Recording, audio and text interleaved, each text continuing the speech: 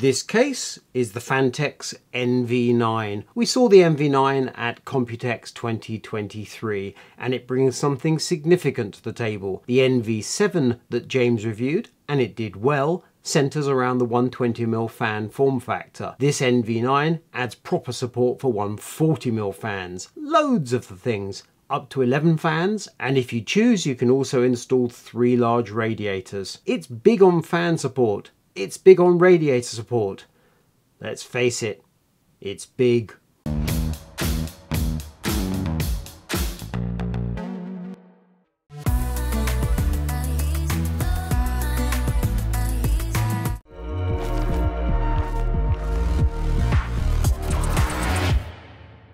Let us take some panels off the NV9, then we can take a closer look at the features, and we start around the back.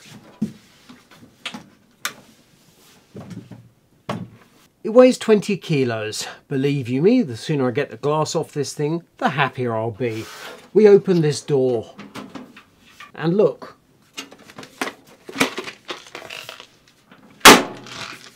A box and an envelope velcroed together. In the envelope we have the user manual, also a box of accessories, cleaning cloth, a few bits and pieces, screws and a GPU support. With the door open, two thumb screws,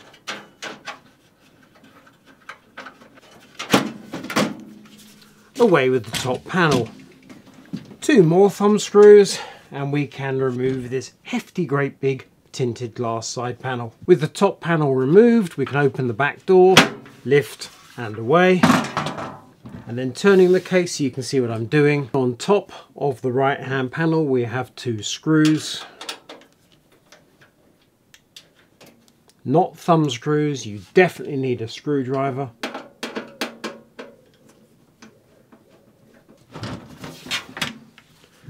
And away with the right hand panel the front glass, you don't need to remove it, but it gives you loads of access if you do. Two screws. You'll note it's not a rectangle, we have an angled cutaway here. Because we have a lifted bottom panel, so air can flow in from the right hand side, underneath and up. So there we have it, an NV9 that is halfway stripped down. Let's look at the cooling we can put inside the NV9. In the rear position, we can install up to a 280mm radiator, as you can see here. There you go, no trouble whatsoever. Or of course two fans, either 120 or 140. In the roof we can install either a 360 or a 420. This is a 420 radiator and it goes without any difficulty whatsoever or of course 3 on 20s or 3 on 40 fans. In the floor of the case we can also install either a 360 or a 420, single screw at the rear, out with the rack which is mounted on rubber grommets to keep it nice and quiet and stop it rattling around and the 420 goes on without any difficulty. You will note an angle. You can either have this rack angled to match the floor of the case or horizontal to match your table. For the moment, I'm going to leave it out. And then in the side position, we have another removable fan rack. Thumb screw up here. And it pulls away. This can accommodate either a 420 or a 480. The difference there being if you're installing a 420, that's 3 by 140s. A 480 is 4 by 120s. The point therefore is you've got 11 140mm fan capacity in this case or 12 120s. Let us take a look around the back. We have this door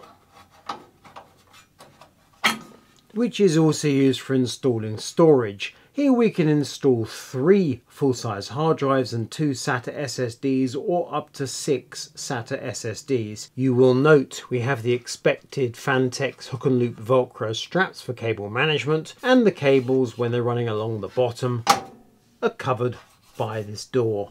Around the back of the case we have these essentially cable management combs Cables can be routed through these, locked in place, and fed tidily out of sight. Remember, we have a door over the whole shooting match, so once the cables are secured, they're completely covered. Input output is in a very strange location. We have one high-end type C connector, two type A's and a headset jack. This case is so enormous, the idea of having it up on your desk strikes me as unlikely.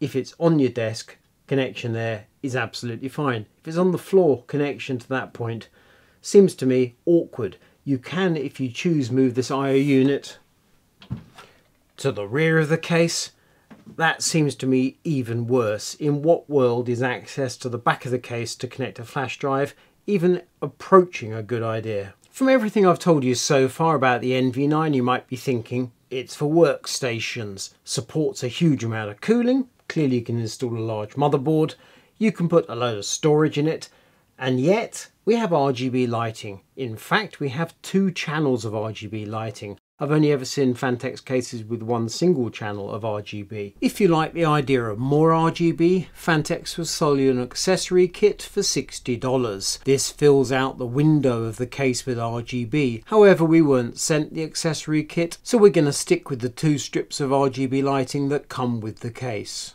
Although, rainbow.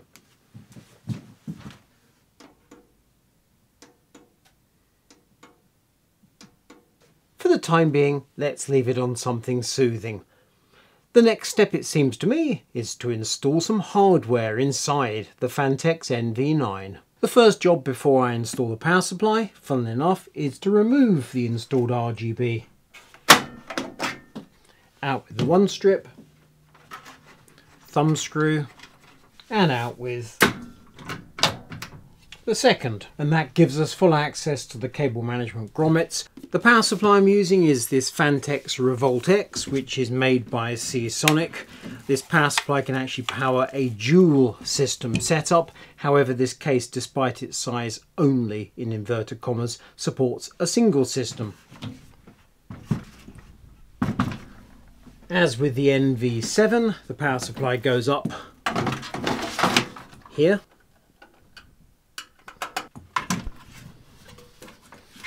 The power supply is behind this bulge in the steelwork. With the NV7 we seem to have an awful lot of space at the top of the case that appeared to be dead because of that power supply housing. The NV9 is so large it doesn't look quite as bad to me.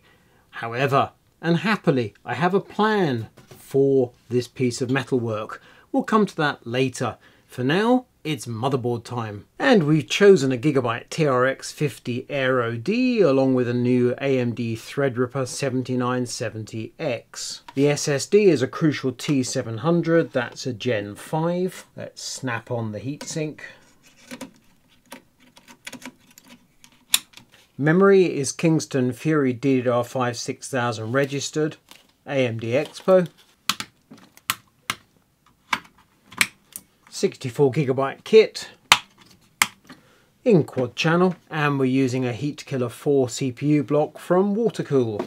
Thermal compound is Arctic MX6 and let's just cover the CPU in thermal compound and then on with the block.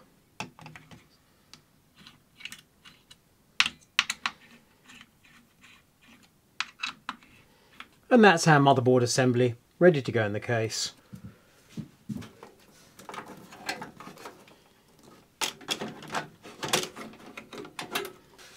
Looks like that. Truly we have an enormous amount of space to work with. If you're looking for a new chair, then you should definitely check out Boulies. I'm currently sat on their Ninja Pro gaming chair, which is one of three models from their gaming series alongside the Elite and the Master. So if you're looking for something new to stick in your setup that you can sit on and game and work, then I recommend definitely checking out boulies.co.uk. Next up, it's the radiator and the pump reservoir. And now it's time for some cooling. As I've already shown you, I have many options. I'm going to put a 420mm Alphacool radiator in the side of the case. Phanteks shows you in the user guide how they think you should install cooling. For liquid cooling, in at the bottom, out at the side, out in the roof, and out of the rear. So I'm going to have the radiator in the side and exhausting that away means I need fans in the floor intaking, fans in the roof exhausting, fans in the rear exhausting. That means I need a stack of 140mm fans, and I have exactly that. 11 Be Quiet Silent Wings 4 fans. So that's covered and also an EK Quantum Kinetic TBE 300 pump reservoir. So it's a 300mm reservoir, cylindrical in profile, and it has a D5 pump in the floor. That's it, loads of cooling.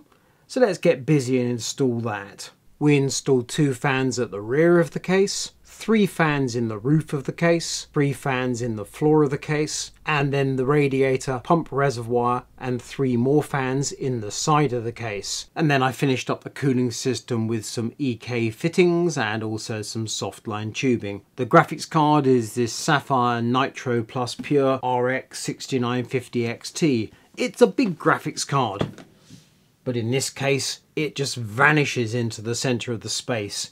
We still have space all around the hardware.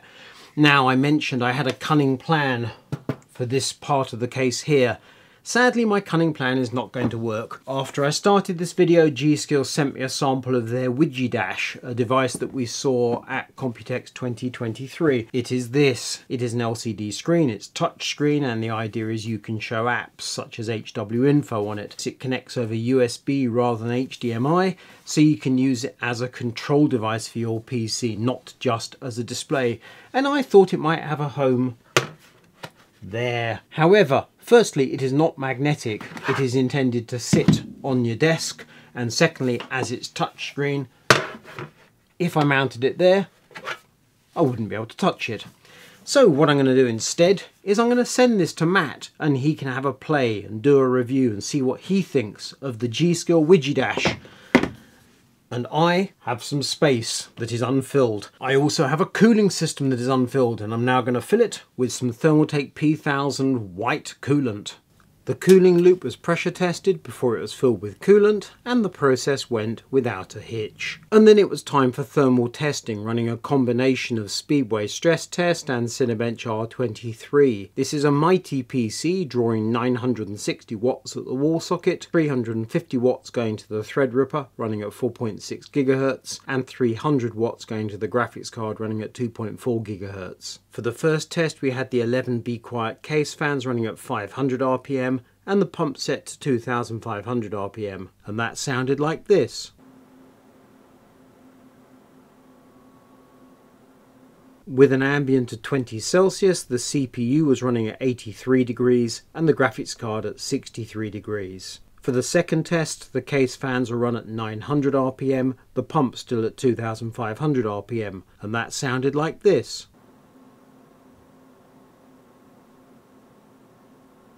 In that test, the CPU temperature dropped slightly to 81 degrees, the graphics constant at 63 degrees.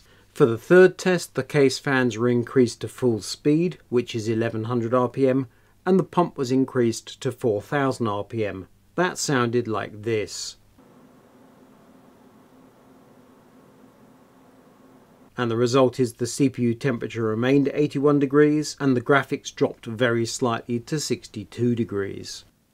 And we come to my concluding thoughts about the Phanteks NV9 and let's start with price. Checking back to my Computex video from last year, we expected this case to go on sale at £300 euros dollars, a US price of $300 plus tax pretty much works out to a UK price of £300. However, that was not what happened. It actually went on sale at £225 here in the UK and is currently discounted to £199, much cheaper than expected. Pros and cons. It has stylish good looks, especially where the glass panels come together. Very smart. This actually causes me some confusion because I see a case this large and I'm thinking in terms of workstations and this just isn't. Phanteks actually has a Pro product. We saw that at Computex last year as well. This is intended clearly as a showcase kind of case.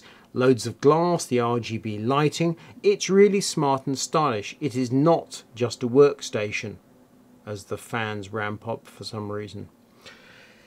Second Pro, it has massive scope for air or liquid cooling, or I suppose a bit of both. Also, the cooling itself is very good. I pummeled this system 960 watts combined CPU and GPU load. and it handled it without any difficulty. A regular PC in this case will be a doddle, but a regular PC would look slightly ridiculous. And the third Pro, the final price is much lower than I had initially expected. Cons, the negative points. The front I.O. is right down the bottom of the case. If the PC is on the floor, I don't know what you're expected to do with that. Moving it to the rear makes no sense. Secondly, the NV9 is supplied without any fans, so while the price is relatively low, you do have to factor in the cost of cooling. But if you're going liquid cooling and CPU blocks and GPU blocks and all sorts, fans are relatively just part of the equation. Third, cable management is tricky in the main compartment, particularly around those integrated RGB covers. However, cable management everywhere else is dead straightforward. In that main compartment, you have to work quite hard to make it look neat and tidy, far more so than you might first think. And I didn't show it on camera because essentially it's just my hands in the way as I was moving things around. And finally, it is very large and heavy. If you looked at this case and gone, it's too big, I agree with you. The NV7 is large, the NV5 I think is fine. Quite why the NV9 exists is a bit of a puzzle to me. But if you've looked at this case and gone, magic, just what I want, 420mm radiator or even 480mm radiator, perfect. Well, this is for you. It is, however, not really my cup of tea, but taken in its own terms, it's a good case and it's definitely worth buying.